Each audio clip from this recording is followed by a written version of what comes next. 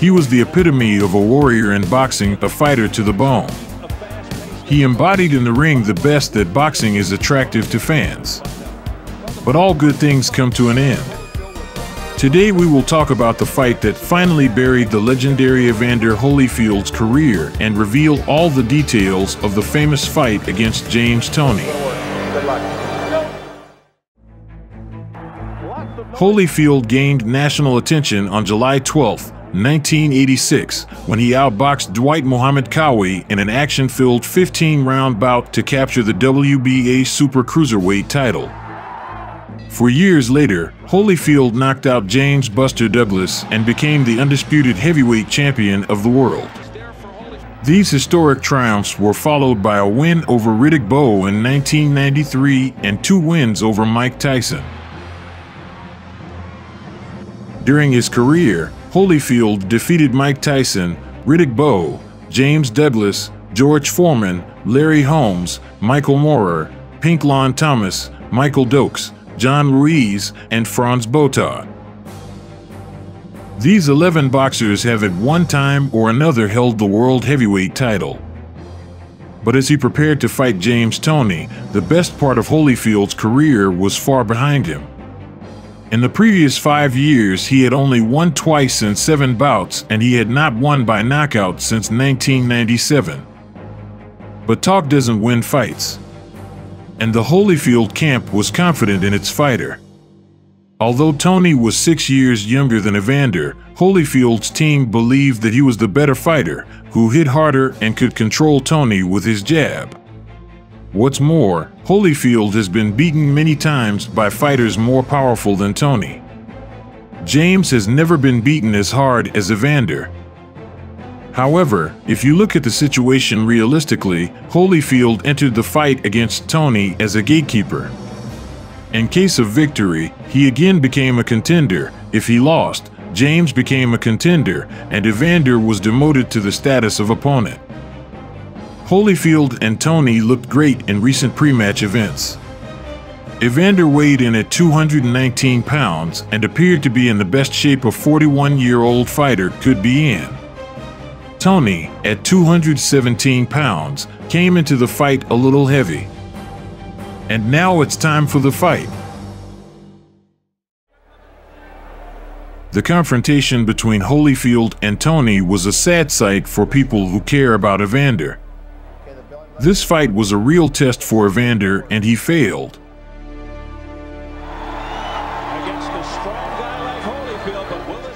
Holyfield started the fight well and looked good at the start.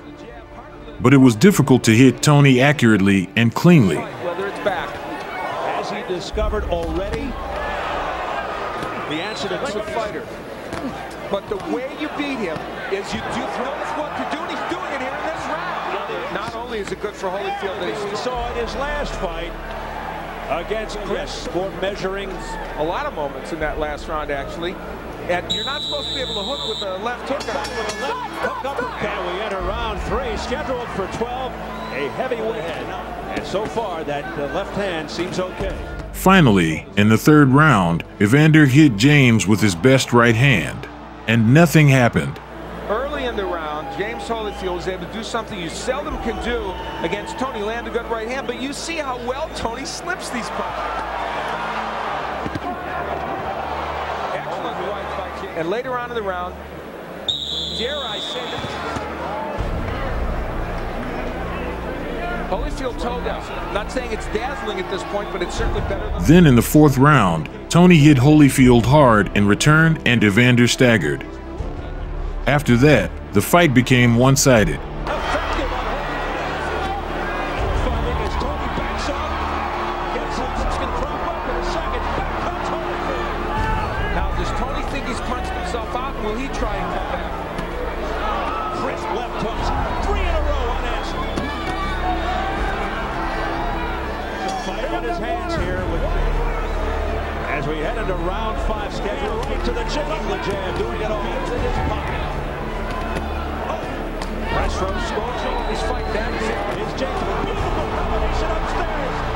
The combinations from James Toney. One of the keys to victory. He had to throw more than one punch at a time.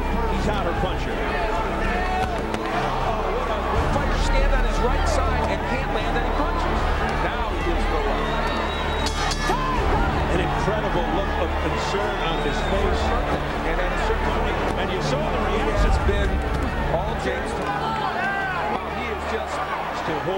Holyfield's body. Has to be wearing holy exhaustion. Oh, what a right hand by Toney. pretty, pretty interesting. Now he's going backwards out of frustration, going back to the head butting. By the seventh round, Toney was hitting Evander at will. Holyfield has been in this situation in the past. He was once a young fighter who fought aging lions like George Foreman and Larry Holmes. And, of course, there were times when Evander was beaten up and came back to take over. But not at this time. Not enough punches coming from Evander Shane to become undisputed champion once again. You have to wonder about about that after this performance. An aficionado that even a loss tonight. Big right hand by By the eighth round, Holyfield's face was swollen and blood was flowing from his mouth. determination. He reveres Marciano because he was a small Since heavyweight. 1997, Toney hasn't performed well, which usually is the power you do have. Blood from the. Uh, again, nothing. Comes back with a couple of soft left hands. And again, struts back to his corner. Moment there in the corner. Don Turner urging. I remember in a boxing corner in a long time. You continue to get hit by these guys. In the ninth round, a flurry of blows, culminating in a powerful blow to the body, forced him to stretch out on the canvas.